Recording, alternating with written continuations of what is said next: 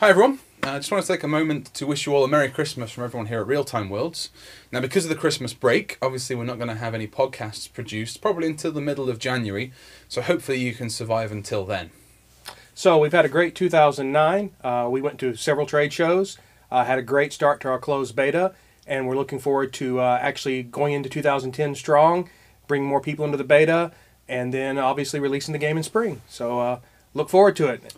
We've got a lot of things to uh, obviously do in 2010, a lot of trade shows to meet you all at.